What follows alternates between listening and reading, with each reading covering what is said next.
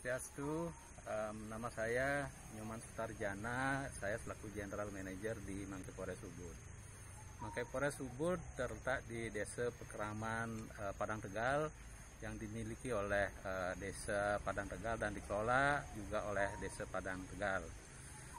Uh, Mangke Polres itu sendiri mempunyai luas sebelumnya adalah uh, 8,5 hektar di dalam kawasan hutan, kemudian ada diperluas 4,5 hektar kita namakan uh, uh, hutan baru atau hutan konservasi.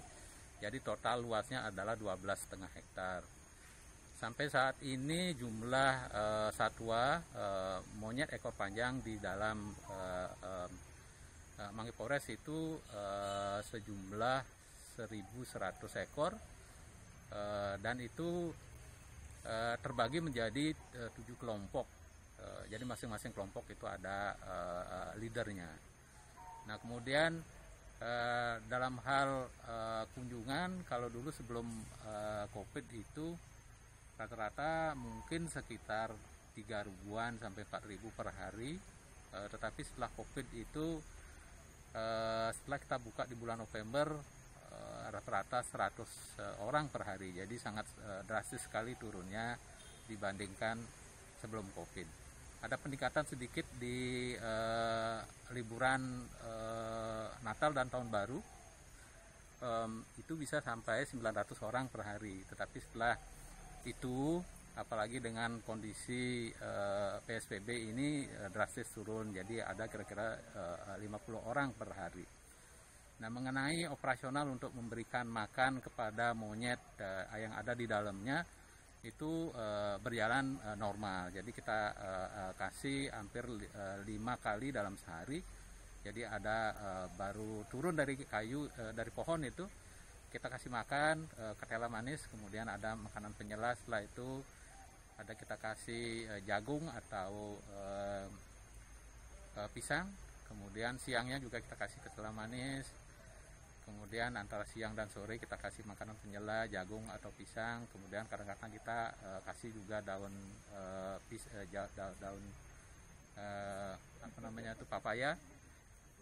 Um, nah uh, di luar dari kawasan uh, hutan itu sendiri kita ada perluasan uh, hampir lebih kurang 15 hektar. Itu kita sebut uh, sentral parkir. Yang di dalam kawasan itu ada uh, rumah kompos untuk um, bagaimana mengelola sampah itu menjadi sesuatu yang berguna. Kemudian eh, ada juga namanya hutan yadnya, jadi desa itu berpikir untuk menanam hutan-hutan yang bisa dipakai untuk eh, upakara atau upacara di Bali itu sendiri.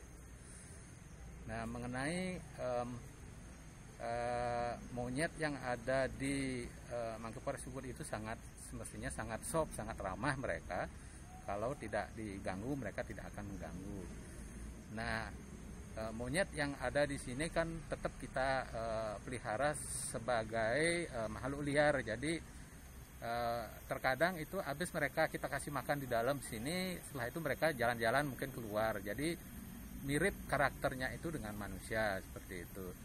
Nah, ada e, pemberitaan e, misalnya katakan mereka mengganggu di luar di luar kawasan itu um, saya rasa mungkin waktu um, pariwisata normal itu mungkin bukan sebagai pengganggu gitu ya. Uh, tetapi karena uh, situasi pariwisata yang sekarang yang nggak sepi mungkin itu dirasakan sebagai pengganggu. Karena mereka yang berdomisili uh, di dekat kawasan Mangke Polres itu semestinya mereka mendapatkan uh, impact atau dampak yang uh, positif dan negatif. Mungkin menurut saya lebih banyak uh, dampak yang uh, positifnya. Nah, terkait dengan bagaimana uh, perilaku monyet itu terkadang mungkin keluar itu kita punya karyawan yang bertugas khusus untuk itu untuk menghalau kembali monyet itu biar mau kembali ke dalam kawasan. Itu kita sebut dengan tim konservasi.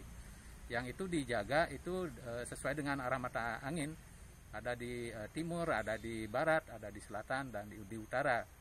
Nah sekiranya kalau ada masyarakat yang merasa terganggu seperti itu, kita harapkan mereka bekerja sama untuk menghubungi kita sehingga kita akan menugaskan petugas tersebut untuk uh, spesifik sekali untuk menghalau kembali monyet itu ke dalam.